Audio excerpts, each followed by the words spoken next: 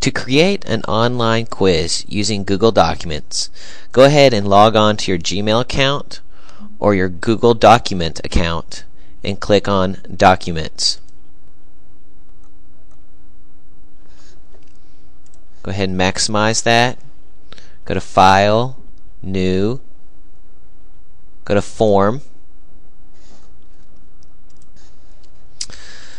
I'm going to label this Civil War Quiz. My first question, I'm going to have it name for my student name. I'm going to, I'm going to put last name first. This way the students' names can be alphabetized real quick to put in the gradebook. I'm going to put it in text. I'm going to make this a required question because I want their name on each one of these. I'm going to click Done. Notice the questions appear as you go along. I'm going to add another question. I'm going to do a multiple choice. This question is Who was President during the Civil War. I'm going to put a question mark. I'm going on option Jefferson Davis, Abe Lincoln,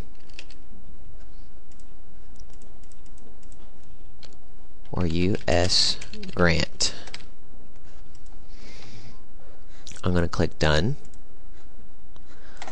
I'm going to add another question. This time I'm going to go to checkboxes.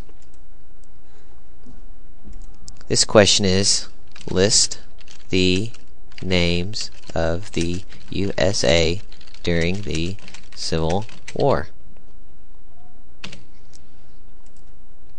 Check all that apply. The North.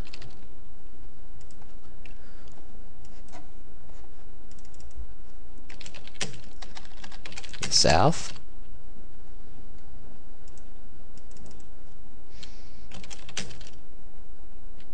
Yankees.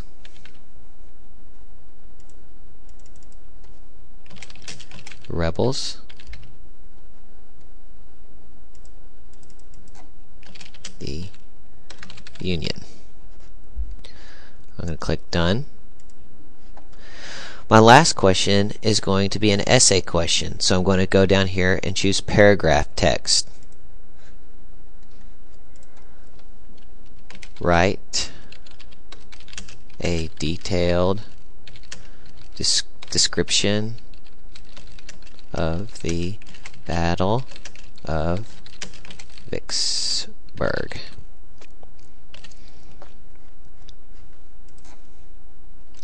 must be at least a paragraph. Click Done. Click Save. You can click on this bottom web address to go check your quiz out. Maximize this. I'm going to put Smith John who was president during the Civil War? Ooh, that's a good question. I meant to put USA, but we'll just ignore that. List the name names of the USA during the Civil War: the North, the Yankees, the Union, and write a detailed description. I'm just going to put blah, blah. I'm going to click submit. I'm going to X out of that.